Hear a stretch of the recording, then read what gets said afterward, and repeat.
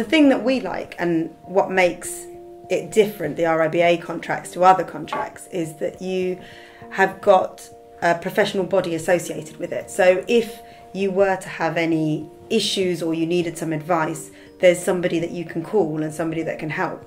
Some of the other contracts, it's very difficult. They're not attributed to a professional body, so it's very difficult to get assistance.